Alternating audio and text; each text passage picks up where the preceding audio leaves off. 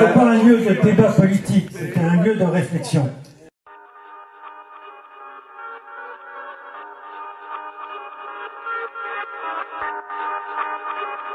Et merci beaucoup à tous.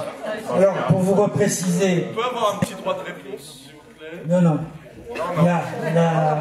Ah non, on n'a pas le droit, on n'a pas le droit. Non, c'est fini. C'est pas un lieu de débat politique, c'est un lieu de réflexion.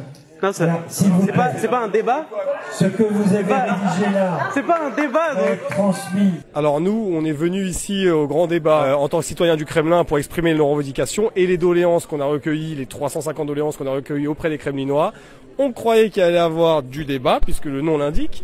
Et euh, qu'est-ce qu'on a, qu'est-ce qu'on a découvert dans ce- cette réunion publique, c'est que un, les questionnaires étaient déjà biaisés de base. Ça, on, Le gouvernement a créé les réponses, les questions et les réponses.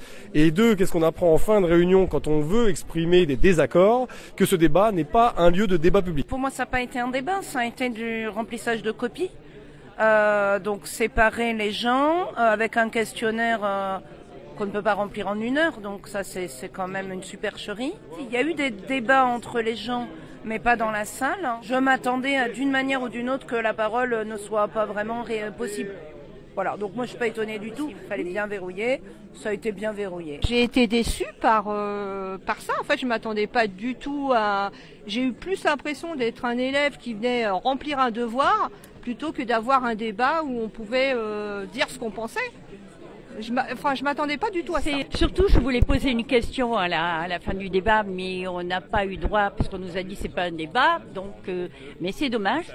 aucune revendication des Gilets jaunes, alors qu'on est dans un mouvement populaire sans précédent. Aucune de leurs revendications, aucune de leur colère n'est portée dans ce débat. Et c'est clairement honteux, c'est de la poudre aux yeux.